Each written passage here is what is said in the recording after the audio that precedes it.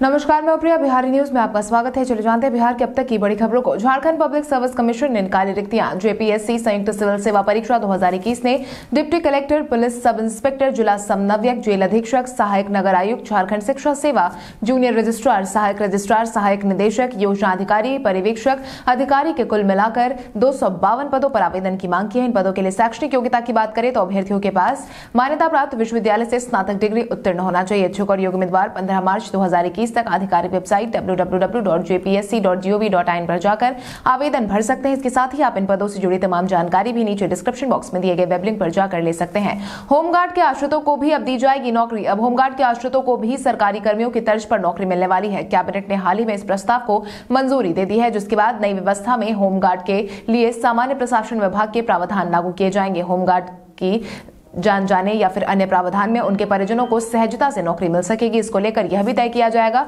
कि किसको नौकरी मिलेगी और कैसे मिलेगी। सारा सब कुछ स्पष्ट भी रहने वाला है। इस बाबत कैबिनेट विभाग के प्रधान सचिव संजय कुमार ने बताया है कि कैबिनेट ने छह प्रस्तावों को स्वीकृति दे दी है। इसमें आश्रितों को सरकारी नौकरी देने के अलावा अन्य कई योजनाओं पर मुहर लगाई गई है। अब हाई स्कूल में पढ़ाएँगे रिटायर्ड शिक्षक, जहाँ एक तरफ़ कई शिक्षक नौकरी की मांग को लेकर बैठे हैं, वहीं दूसरी तरफ़ बिहार सरकार ने रिटायर्ड शिक्षकों के पक्ष में अपना फैसला सुनाया है, जिसके तहत बिहार सरकार की तरफ़ से साझा की गई ताज़ा जानकारी के अनुसार बिहार के रिटायर्ड शिक्षक को अब हाई स्कूल में पढ़ाने का मौका मिलने वाला है। शिक्षक नियोजन प्रक्रिया में विलंब होने के कारण बच्चों की पढ़ाई प्रभावित न हो, इसको ध्यान में रखते हुए हाई स्कूल में अब रिटायर्ड शिक्षक पढ़ाने वाले हैं। हाई स्कूल के रूप में अपग्रेड हुए दो हज़ार छह सौ अठहत्तर विद्यालयों में अब रिटायर्ड शिक्षकों को संविदा के आधार पर रखा जाएगा। इसमें केंद्र सरकार और राज्य सरकार से रिटायर हुए शिक्षकों को रखा जाएगा। ऐसे शिक्षकों को प्रति क्लास नौ रुपए समेत एक महीने में अधिकतम बाईस हज़ार पाँच सौ रुपए की राशि मिलेगी। नगर निकायों में होगी अब बंपर बहाली। कैबिनेट ने नगर निकायों में बहाली के लिए नियमावली की मंजूरी दे दी है, जिसके बाद अब नगर निकायों में बंपर बहाली होने वाली है। मिली जानकारी के अनुसार कैबिनेट की तरफ़ से मिली मंजूरी के बाद पाँच से अधिक लोगों को नौकरी देने का काम किया जाना है। इतना ही नहीं, अब तो नीतीश सरकार बिहार में शहरीकरण को बढ़ावा देने में भी जुट गई है। इसके कवायद के तहत बीते दिनों कैबिनेट ने एक सौ सत्रह नए शहरी निकायों के गठन को मंजूरी प्रदान की है।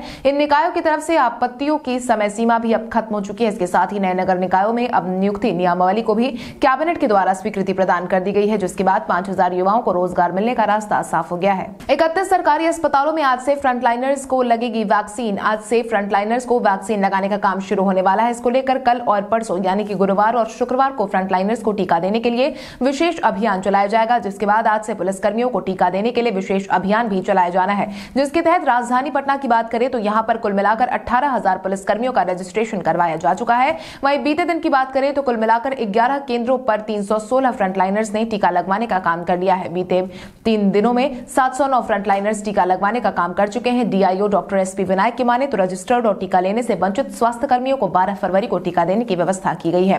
रबी फ़सल के अधिक उत्पादन होने की जगी उम्मीद। किसानों के लिए अच्छी खबर है। इस साल गेहूँ की फ़सल के अनुरूप मौसम होने के कारण गेहूँ के बंपर उत्पादन के होने के आसार बन रहे हैं। सालों बाद मौसम ने किसानों का जमकर साथ दिया है। इसके साथ ही पाला गिरने और लाही का प्रकोप भी अभी नहीं देखने को मिल रहा है। आपको बता दें कि हाल ही में कुछ वर्षों में ठंड कम पड़ने के बावजूद गेहूँ का उत्पादन बढ़ नहीं रहा है। इसी कारण है कि हर साल फरवरी में गर्मी पड़ने लगती है, मगर इस साल दिसंबर में ही मौसम रबी के लिए अच्छा रहा है। आपको बता दें, गेहूँ के लिए हर हाल में न्यूनतम तापमान आठ डिग्री सेल्सियस से कम ही रहना चाहिए और बाली के पकने के समय अधिकतम तापमान भी 20 डिग्री से ज़्यादा नहीं होना चाहिए। उसके पहले का तापमान 10 डिग्री सेल्सियस से नीचे होना चाहिए। इस साल ऐसी ही स्थिति देखने को मिली है, जिससे अनुमान लगाया जा रहा है कि गेहूँ की पैदावार अच्छी होगी। कृषि कानून को लेकर सरकार के निर्णय के पक्ष में नहीं है बिहार के किसान। रालोसपा द्वारा शुरू किए गए किसान चौपाल में किसान कृषि कानूनों को लेकर अपनी बात रख रहे हैं। चौपाल में किसानों ने कहा है कि सरकार ने कृषि कानून को डेढ़ साल तक स्थगित करने का प्रस्ताव किसान संगठनों को दिया था, लेकिन सरकार के इस प्रस्ताव से हम सहमत नहीं है। किसानों ने कहा कि इस तरह की बातें करके किसान आंदोलन को खत्म करने की साजिश रची जा रही है। रालोसपा के राष्ट्रीय महासचिव फजल इमाम मलिक ने प्रेस कॉन्फ्रेंस में इस बात बात की जानकारी दी, उन्होंने बताया किसान चौपाल के ज़रिए पार्टी द्वारा किसानों तक इस कानूनों की खामियों को बताने में कामयाब हो रही है। रालोसपा एक हफ़्ते में करीब 20 जिलों के 2000 गाँव में किसान चौपाल लगा चुकी है। बिहार में किसान चौपाल की शुरुआत दो फरवरी से की गई थी। पश्चिम बंगाल चुनाव के लिए राजद ने बनानी शुरू की रणनीति। राजद ने बिहार विधानसभा चुनाव में किस्मत आजमाने के बाद पश्चिम बंगाल में किस्मत आजमाने का फैसला लिया है, जिसके तहत बिहार में सबसे बड़ी पार्टी के रूप में उभरने के बाद राजद ने पश्चिम बंगाल चुनाव की तैयारी शुरू कर दी है। आपकी जानकारी के लिए आपको बता दें, राजद राजद अध्यक्ष लालू प्रसाद यादव की तबियत खराब होने के कारण नेता प्रतिपक्ष तेजस्वी यादव इन दिनों दिल्ली में ही है। तेजस्वी दिल्ली में बैठकर पश्चिम बंगाल विधानसभा चुनाव और असम चुनाव को ध्यान में रखते हुए राजद ने रणनीति बनानी भी शुरू कर दी है। चुनाव को लेकर तेजस्वी ने दिल्ली में पार्टी के बड़े नेताओं के साथ बैठक भी की है। तेजस्वी यादव के साथ पार्टी के राज्यसभा सांसद मनोज झा, राष्ट्रीय प्रधान महासचिव अब्दुल बारी सिद्दीकी और राष्ट्रीय महासचिव श्याम रजक इस बैठक में मौजूद रहे। पिछले दिनों अब्दुल बारी सिद्दीकी और श्याम रजक पश्चिम बंगाल और असम दौरे पर भी भेजे गए। पीएम पैकेज में बिहार की पर्यटन परियोजनाओं के लिए मिली पैसों की स्वीकृति। केंद्रीय पर्यटन राज्य मंत्री प्रहलाद सिंह पटेल ने बिहार की पर्यटन परियोजनाओं के लिए पैसों की स्वीकृति दे दी है, जिसके तहत केंद्रीय पर्यटन राज्य मंत्री प्रहलाद सिंह पटेल ने हाल ही में बताया है कि घोषित बिहार पैकेज के अंतर्गत बिहार की पर्यटन परिस्थितियों और परियोजनाओं के लिए तीन करोड़ की स्वीकृति दी गई है, जिसके विरुद्ध अब तक दो करोड़ रुपए जारी किए जा चुके हैं। आपकी जानकारी के लिए आपको बता दें, बिहार के पूर्व उप मुख्यमंत्री सुशील कुमार मोदी ने हाल ही में राज्यसभा में यह सवाल पूछा था कि पर्यटन परियोजनाओं योजनाओं के लिए केंद्र सरकार की तरफ़ से राशि की मांग की गई थी। हाल ही में राज्यसभा में यह सवाल पूछा था कि पर्यटन परियोजनाओं के लिए केंद्र सरकार की तरफ़ से राशि की मांग की गई थी, उसका क्या हुआ है?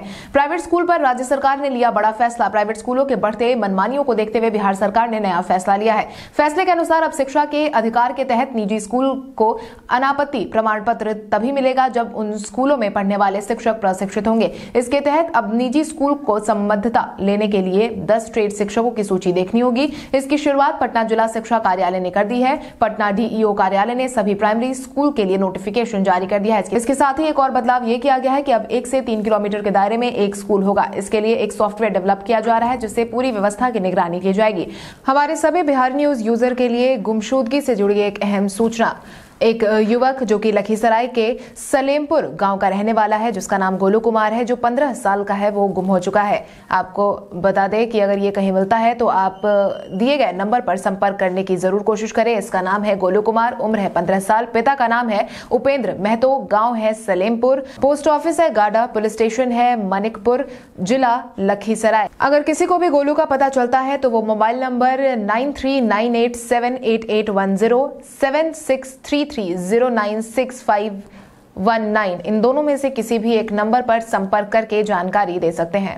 12 फरवरी के बाद से दिन और रात में तापमान बढ़ने का अनुमान। मौसम विभाग ने अगले तीन दिन के बाद ठंड का असर कम होने की बात कही है। अनुमान के अनुसार 12 फरवरी से मौसम सामान्य हो जाएगा और गर्मी बढ़ेगी। रात और दिन में भी तापमान में बढ़ोतरी होगी। इसके अलावा विभाग ने यह भी कहा है कि दस फरवरी तक दिन में गर्मी और रात में सर्दी होगी। विभाग का कहना है कि ग्यारह फरवरी से मध्य प्रदेश, छत्तीसगढ़ और बिहार के तटवर्ती क्षेत्रों में चक्रवाती हवाओं के सक्रिय होने का अनुमान है, जिससे आसमान में बादल छाने और हल्के कोहरे रहने के आसार है, जिसका असर बिहार में भी 24 घंटे तक दिखेगा। फ़िलहाल बिहार के पटना, गया, नालंदा, छपरा और सिवान समेत सभी हिस्सों में मौसम शुष्क बना हुआ है, जिसके साथ ही दिन में तेज धूप रहने के कारण गर्मी का एहसास होता है, जबकि तेज हवाओं से रात में तापमान गिर जाता है। अनिता हसनंदानी के घर आया एक नन्ना मेहमान। अनिता हसनंदानी के घर एक नन्हा मेहमान आया है जिसके तहत अनिता ने एक बेटे को जन्म दिया है, जिसके बाद अनिता और रोहित ने अपने पहले बेबी को वेलकम किया है। हालाँकि एक्ट्रेस बीते कई दिनों से मेटर्निटी शूट करती नज़र आ रही थी जिसके तहत अनिता ने बताया था कि उन्होंने अपनी प्रेगनेंसी के दौरान कई फ़ोटो शूट किए थे, लेकिन कोई प्रेगनेंसी पीरियड में किए जाने वाले फ़ोटो शूट से उनकी तुलना नहीं कर सकता है। मेटर्निटी शूट में मैंने सबसे ज़्यादा मज़े किए हैं। एक्ट्रेस ने यह भी बताया है कि वो फरवरी के महीने में बेबी को जन्म देने वाली थी। इसके साथ ही अनिता ने बताया था कि वो खुद को प्रेगनेंसी प्रेगनेंसी पीरियड में शांत और खुश कैसे रख रही हैं? योग करने के साथ ही वो अपने डॉगी के साथ भी खेलती हुई नज़र आई थी। हार के बावजूद लाला को हराने में कामयाब रहे विराट। भारत और इंग्लैंड के बीच पहले मैच का समापन हो गया। वहीं मैच के खत्म होने के बाद भारतीय टीम को भले ही हार का सामना करना पड़ा, लेकिन भारतीय टीम के कप्तान और रन मशीन विराट कोहली ने क्रिकेट के तीनों फॉर्मेट में वेस्टइंडीज के दिग्गज बल्लेबाज ब्रायन लारा को पीछे छोड़ दिया है, जिसके तहत विराट ने इंग्लैंड के खिलाफ मंगलवार को खत्म हुए पहले टेस्ट में कुल तिरासी रन बनाए और तीनों फॉर्मेट में सर्वाधिक रन बनाने के मामले में लारा से आगे निकल गए। विराट के क्रिकेट के तीनों फॉर्मेट में कुल चार सौ 24 मैचों में बाईस रन हो गए हैं, जबकि लारा के नाम 430 मैच में बाईस रन है। विराट अब तीनों फॉर्मेट में सर्वाधिक रन बनाने के मामले में सातवें नंबर पर पहुँच गए हैं। तो चलिए बढ़ते हैं आज के सवाल की और आज का सवाल कुछ इस प्रकार है। आपके अनुसार बिहार की तरफ़ से बिहार के स्कूल में रिटायर्ड शिक्षकों के पढ़ाने का फैसला सही है या नहीं? अपने जवाब हमें कमेंट करके ज़रूर बताएँ। इसके साथ ही आज के लिए बस इतना ही। बिहार की बड़ी खबरों से अपडेटेड रहने के लिए हमारे यूट्यूब चैनल को सब्सक्राइब करें और बेलाइकॉन दबाना ना भूले। धन्यवाद।